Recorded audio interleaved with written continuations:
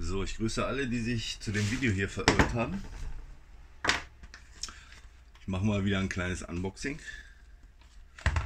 Äh, ja, bam. Was haben wir denn hier Feines? Ah, sehr schön.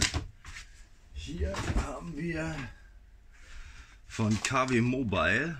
Musste ich mir eine neue Handyhülle bestellen, weil die letzte, die ich mir für mein, äh, für mein wundervolles, na wie heißt es?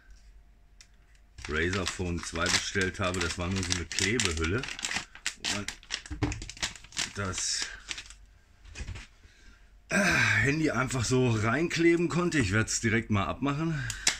Ist zwar so für den Anfang nicht schlecht, aber es fehlt auch hier hinten die Aussparung für das Razer-Zeichen. Deswegen habe ich mir gedacht, kaufe ich mir eine neue Hülle. Okay. Hier haben wir direkt was zum Saubermachen. Sehr fein. So sieht die Hülle aus. Don't touch my phone. Es gab leider nicht so viele und ich entschuldige mich für meine Fingernägel, die ein bisschen dreckig sind, aber ich habe im Auto geschraubt. Es gab leider nicht irgendwelche cooleren Motive. Zack, weg ist es. Und jetzt können wir direkt das Razer Phone da ein. Naja, klipsen mehr oder weniger. Zack, upsala, da ist noch nicht drin. So sieht das gute Stück aus. Hier habt ihr noch ein Kartenfach.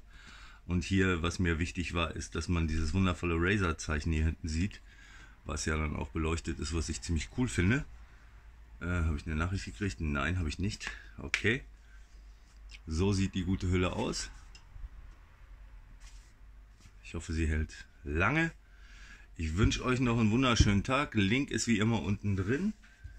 Ähm, Ansonsten könnt ihr mir gerne einen Kommentar oder ähnliches da lassen. Bis dann. Ciao.